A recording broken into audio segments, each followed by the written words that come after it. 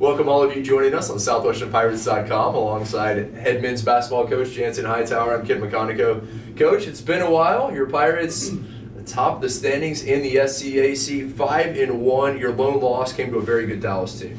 Yeah, it's been uh, a fun month since we last spoke. Uh, Christmas break, and the guys came back uh, ready to go and went out and beat a tough Centenary team uh, who was up on TLU in the first half, 50 to 10, uh, who we have tonight. So the league is crazy.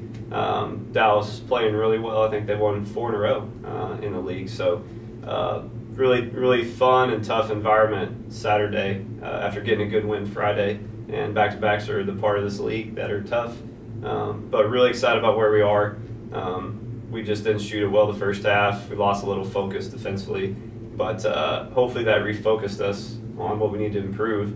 Um, because uh, a really good challenge is coming in tonight, and a game we're really motivated for in yeah. Texas Lutheran. Great game tonight. TLU will be in town. That'll be a 7:30 p.m. tip here at the Robertson Center. We'll have it for you on SouthwesternPirates.com. TLU, they are very good. They are second in the standings. Talk to us about this matchup, the top two teams in the SCAC. It's a rare thing where both teams return pretty much their whole roster uh, and are one and two in the league so far uh, this season. But uh, so that's rare to get where we know who we're going against. They know who they're playing. Uh, they returned Harris Jow that uh, was hurt with an injury last year, but he kind of replaces their five man from last season. Um, it's very it's a motivating game. I mean, they were our last loss last year here at our at the Robertson Center, um, and we're we're going to get after it. So it's you couldn't have written it any better that we take our first loss in conference, and who do we get on our home court is Texas Lutheran uh, three days later. So um, I think it's perfect. I think we'll be ready to go.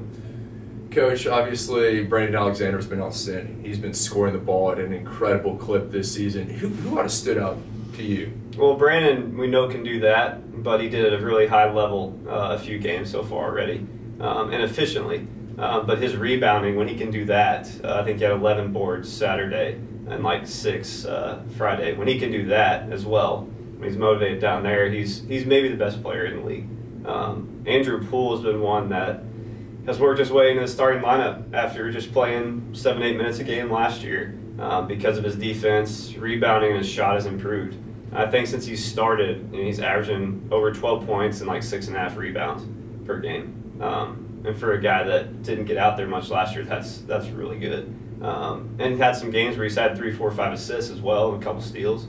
Um, so he's doing a lot of good things for us. And uh, this weekend we were finally healthy again and had Luke Hicks back, and uh, it was nice. It was a much deeper bench, and uh, so we're we're excited about you know the we got 10 games left. It's a long road.